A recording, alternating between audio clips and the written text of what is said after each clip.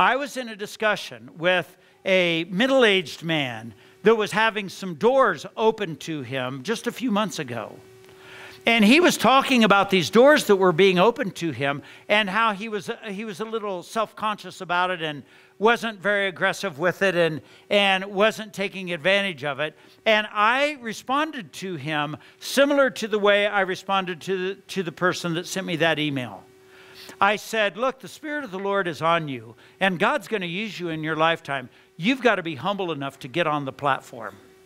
And you've got to be humble enough to take the microphone and, and do what is being required of you right now. This, this humility thing, you're misreading it. Humility doesn't mean you're unable to take leadership. Humility doesn't mean you do a sloppy job. Humility doesn't mean you're inferior in any way. Humility means that you respond in an appropriate way to the opportunities that are given you, and that you have the confidence in Christ to be able to lead without being self centered and arrogant.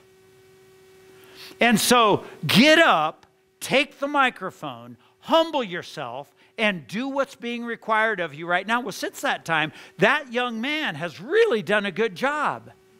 And now, when I'm kind of following him and seeing what he's doing, I, I know his heart.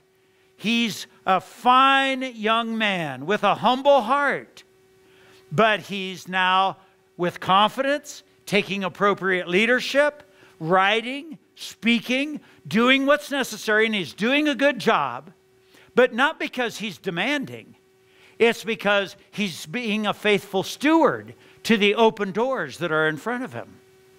And so, this humility thing is a very interesting thing and very complicated thing because I, I did a lot of work with the, um, not a lot of work with, I spent a lot of time in relationship with some of the Mennonite leadership uh, uh, two or three years ago.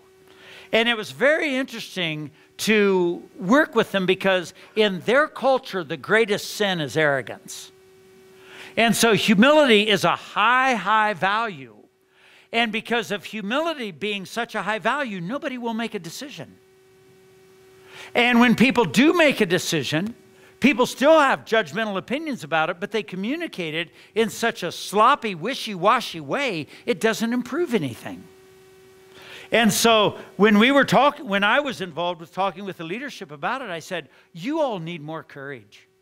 You all need to be able to lead your own group because you've distorted humility into being a lack of leadership. And with a lack of leadership, actually, it's your pride that's keeping you from leading this thing. People are looking to you for godly leadership. Read your Bible and lead. Say something, write something, do something. Right now there's nothing inside of you. It's like it's like jello. And it changed their leadership style. And they were able to stand up a little bit and able to do some things with their group and able to do some things with their network of churches. And they started becoming a little more substantive